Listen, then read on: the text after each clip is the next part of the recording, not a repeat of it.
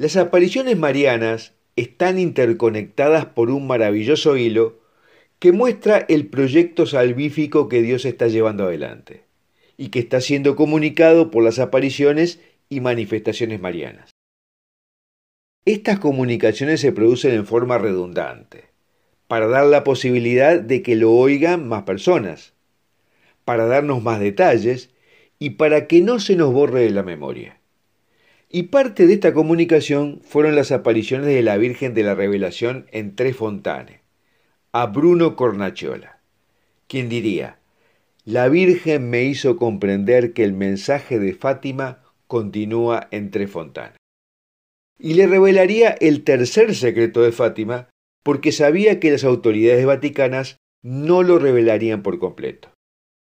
Aquí hablaremos sobre los detalles del tercer secreto de Fátima que la Santísima Virgen le dio a Bruno Cornachola y que parecería que estamos viendo cumplirse.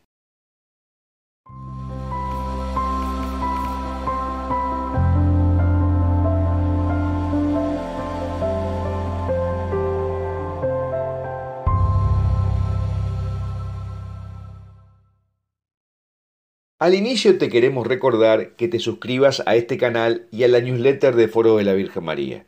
Le des un me gusta a este video y lo compartas con tus amigos. Y en pantalla verás las formas de colaborar con nuestra misión a través de Patreon porque necesitamos tu ayuda para continuar. Todos los links están en la descripción del video. El 12 de abril de 1947, Bruno Cornachola recibió un extenso mensaje de labios de la Virgen en una cueva en Tres Fontanes. Y cuando llegó a su casa, Bruno lo transcribió. Mira otros videos que explican otros detalles de esta aparición, cuyo link está en la descripción de este video. Pero el 2 de febrero de 1960, nuestra Señora le pidió a Bruno que recordara y reescribiera especialmente ese secreto. Y esa fecha resulta especialmente significativa, porque unos días después, el 8 de febrero de 1960, se dio a conocer extraoficialmente que el tercer secreto de Fátima no sería revelado por Juan XXIII.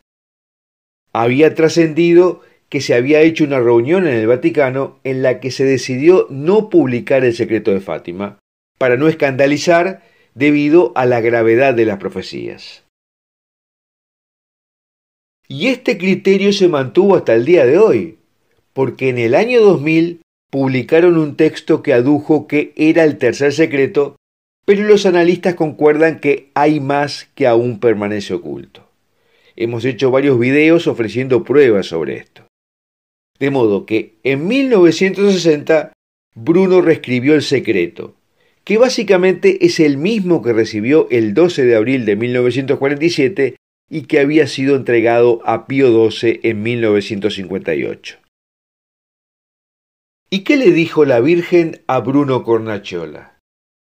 La Virgen le dijo que se están preparando momentos duros y que antes de que Rusia se convierta y abandone el camino del ateísmo, se desencadenará una terrible y grave persecución y pidió oración porque se puede parar.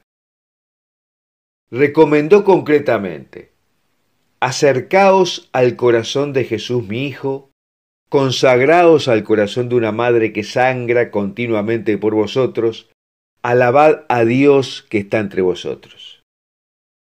Pidió también que nos alejemos de las cosas falsas del mundo, de las obscenidades, de los amuletos de todas clases, de la vanidad y el espiritismo, porque son cosas que el demonio usará para la persecución de los hijos de Dios. Agregó además que los poderes malignos obrarán en nuestros corazones, porque Satanás será desatado por promesa divina por un periodo de tiempo.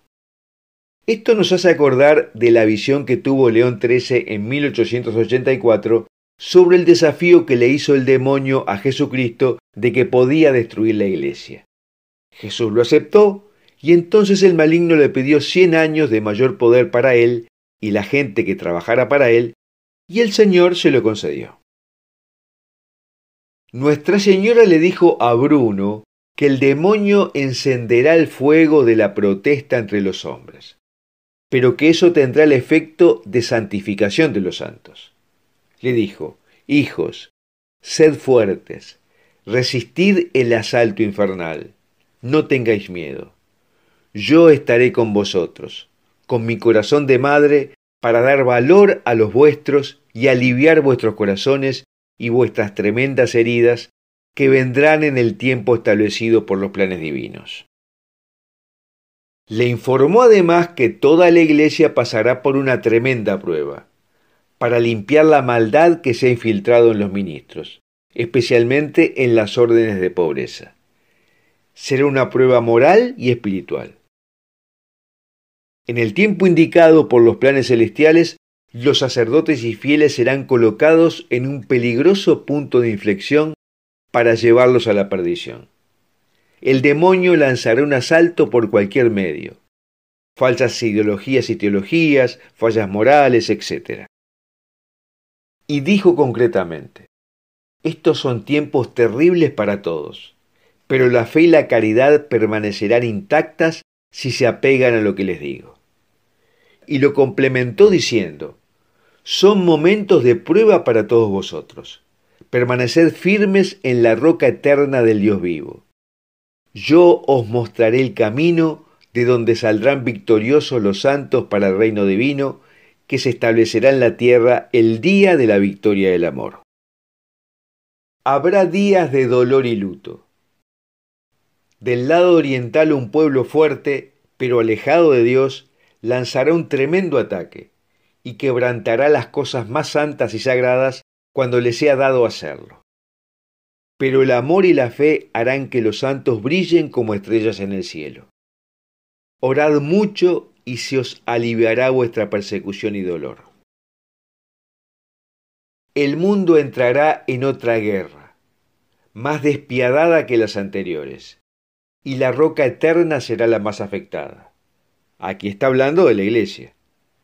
Y dijo textualmente, la ira de Satanás ya no se mantiene. El Espíritu de Dios se retira de la tierra. La iglesia quedará viuda y quedará a merced del mundo. Las tinieblas de la conciencia y el mal que aumenta atestiguarán el momento llegado de la catástrofe final.